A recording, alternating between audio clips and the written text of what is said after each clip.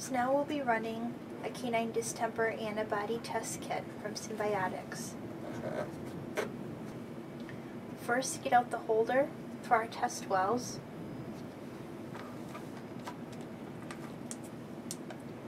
We'll be running five unknown samples today in addition to a positive and a negative control. The wells included within this kit are coated with canine distemper virus or CDV antigen. I've broken off seven wells for our five samples and one well for our positive control and one well for our negative control. The unused wells are resealed and put back into the kit. This kit is allowed to come up to room temperature for two hours before use after use, it is stored in the refrigerator at a temp of 4 degrees C. So now that my wells are fixed into place, I'm going to need to use um, the, the 10X wash solution here. I'm going to need to make that into a working solution. So what I've done, I've used the 10X wash concentrate to make my 1X wash solution. So I'll be using, or I used one part of this 10x wash solution to nine parts of distilled water.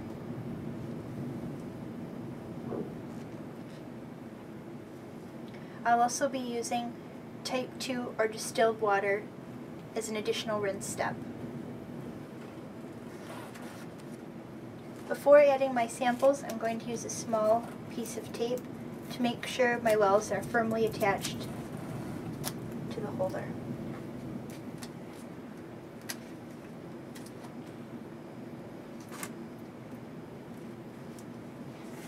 All controls and reagents are clearly labeled within this kit by letter and color. I'll be using first my positive control as A and putting one drop into my first well, well number one.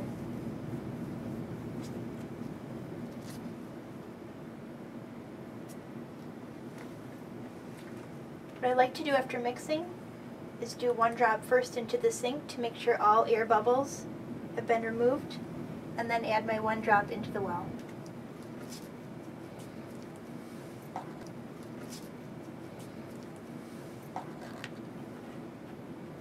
Next, I will use the negative control, which is also the sample diluent, and I will add one drop for my negative control and then one drop for each of my five samples. Again, mixing thoroughly. Doing a test drop, one drop then in each of the remaining wells.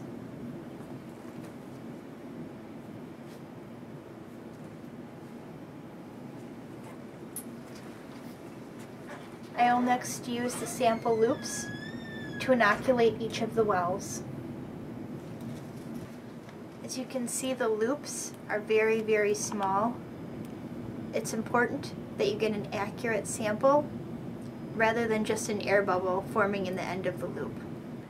So I'll take my first sample, mix it well,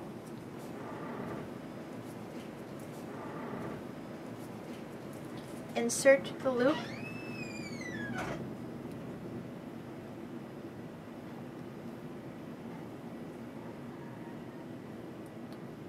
air bubble sometimes it helps to work the loop around. I can see I have a nice sample inside the end of my loop. I will then insert it into my first sample well. And moving the loop back and forth, thoroughly mixing but not splashing into the other wells.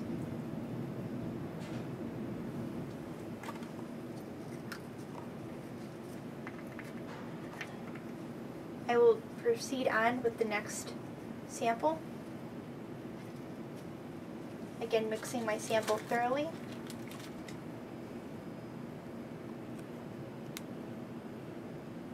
making sure I have a sufficient amount of sample.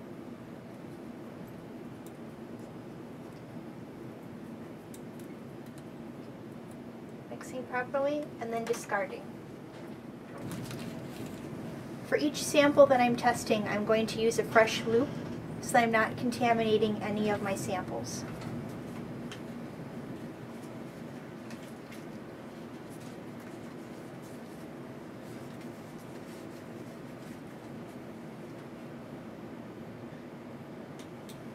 Got a nice sample.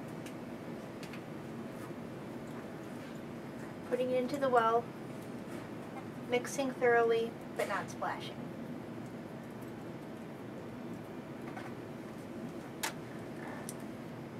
The samples that I'm using with this kit are serum samples. You can also use a plasma sample to test for antibody.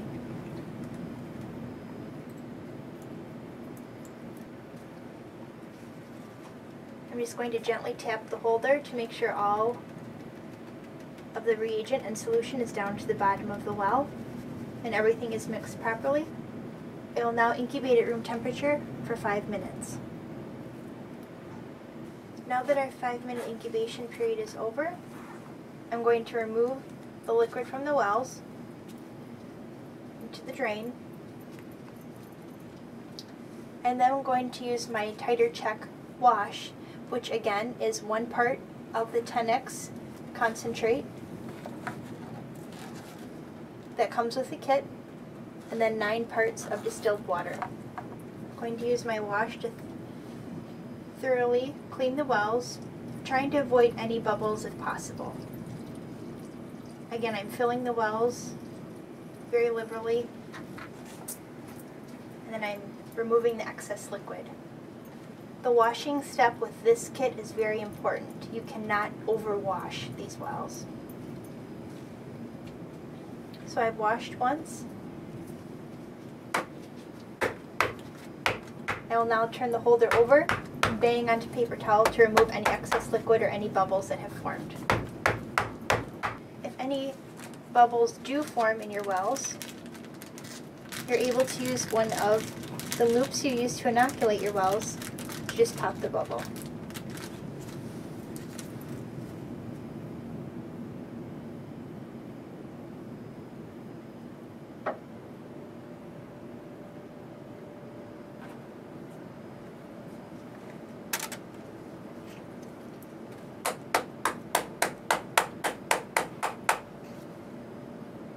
Now that my wells are clean, I'm going to use one drop of the conjugate, which is labeled a blue C. Again, I'm mixing thoroughly, doing my test drop into the sink, and then I'm going to do one drop into each well. First my positive and negative control, and then my five unknown samples.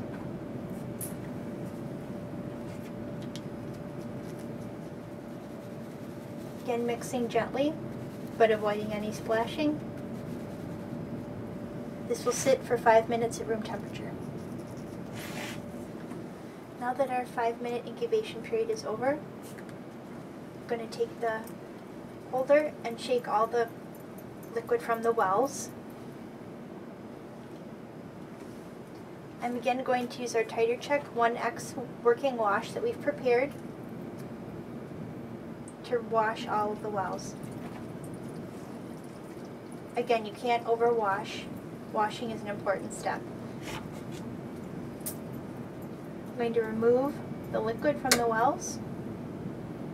I'm going to repeat the washing step three more times.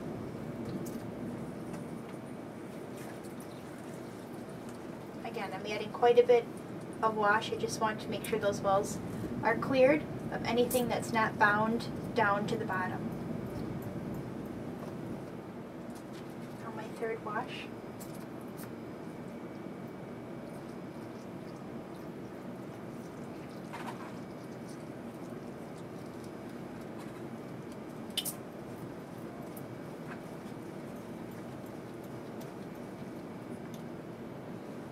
Now, after the last wash, I wanted to make sure that all wells are free of the wash solution. Helps to fix the wells down to make sure everything stays in place.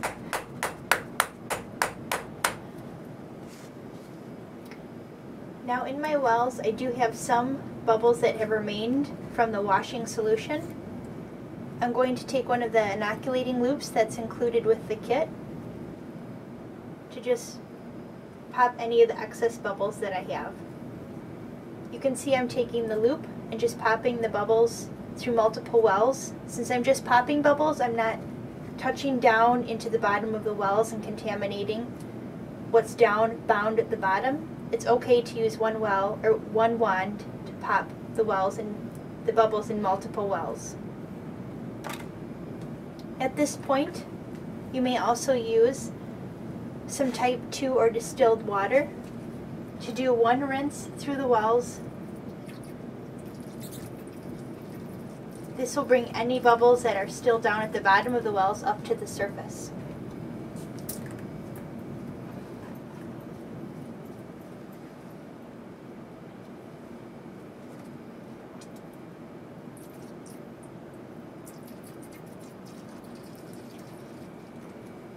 At this point in the test, the kit does recommend washing two or more times with distilled water to make sure that all bubbles are out.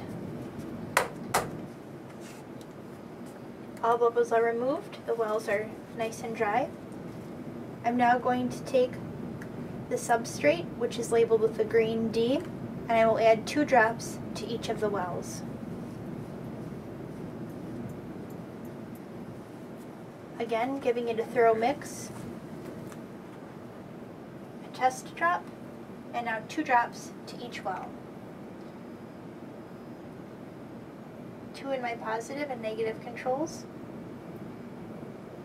And now into my unknown samples.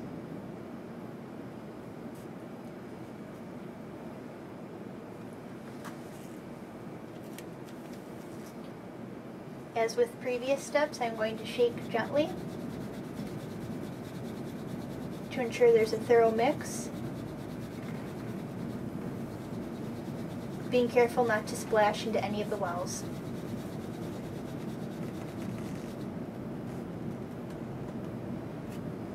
Now this will sit for five minutes at room temperature. Now that the five minute incubation is complete, I'm going to gently shake the holder to mix the solution within the wells.